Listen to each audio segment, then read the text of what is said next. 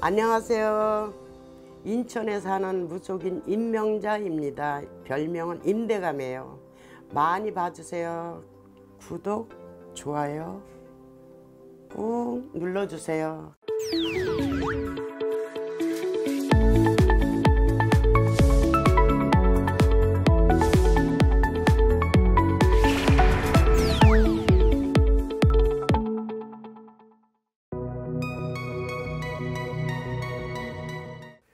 쥐띠는 20대 애들은 공부를 좀 해야 돼.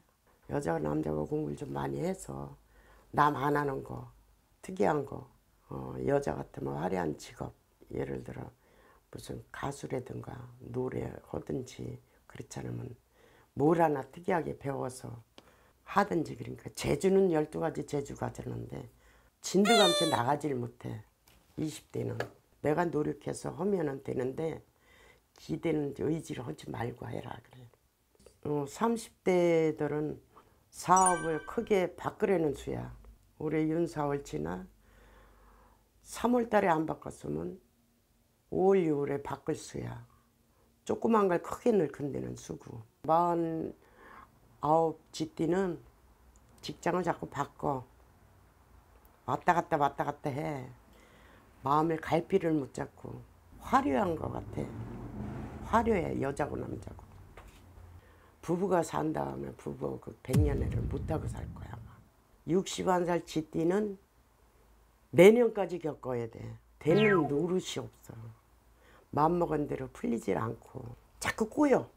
올해 몸에다 칼 좀 대고 몸이 자꾸 신한구난 아프고 그렇다 그래서 뭐 어디가 째야 될 병도 아니고 그냥 원인 모르게 자꾸 아프고 그러는데 이 저기가 많이 붙어.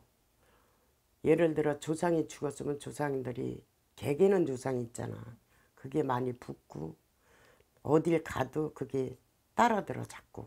그런 게 많고 좀 자기가 알아서 그런 건 병원에 가도 못 고치니까 무속인한테 가서 좀 풀어내고 하면 괜찮을 거예요.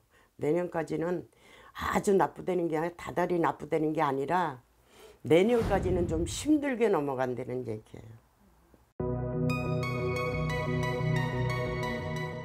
스물일곱도 나쁘진 않아. 근데 직장이 없으면 직장을 잡으려는 수고. 근데 부모가 물려준 재산은 자기가 지탱해 나가기가 힘들어. 내가 벌어서 내가 머리는 사주고 팔자고. 서른아홉 살 괜찮아. 이 사람은 결혼 안 했으면 결혼을 한다든지. 어, 예를 들어서 집을 남의 집 살다 집을 하나 사고 싶은데 못 사고 있잖아. 그냥 문서를 하나 잡든지 그럴 수야. 58년 개띠가 제일 안 좋아. 많이 힘들어. 올해 조금 날까 내년에 조금 날까 그런데 아직도 좀 58년 개띠는 그래. 예를 들어 뭐 장사를 한다든지 사업을 한다든지 이제 건축을 한다든지 이런 사람 있잖아. 그런 사람이 좀 금전적으로 좀 힘들고 인간으로도 좀 힘들고 건강은 그렇게 걱정 안 해도 되겠어. 힘들면 사업을 뭐 벌린다거나 이러면 안 되겠네요. 벌려도 그냥 하면 안 되고 어디 가서 물어보고 하라 그래.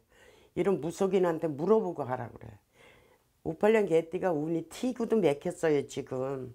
예를 들어 작년에 초반기에 내가 힘들었던 거를 그게 마무리가 다 안 된 상태 얼렁 쉽게 말하면 그러기 때문에 좀 힘들어. 근데 우는 튀었지 개띠가. 음, 몇월달 몇월달 이게 있잖아. 그게 다 그렇다는 게 아니라. 근데 특히 58년 개띠는 좀 힘들게 넘어가려는 사주 팔자야. 그럼 언제 좋아져요? 초반에 좋았는데 나이 좀 덜 먹어서는 좋았는데 나이 먹으면서 좀 힘든 것 같아. 어, 내년 지나면 조금 낫고 어, 58년 개띠가 올해 운 들어요. 운 드니까 운 받을 사람은 받고 무속인한테 물어보고 풀을 수 있으면 풀고 부적으로다가 좀 방법을 할 수 있으면 하고 그렇게 우선 사업을 해도 괜찮겠어.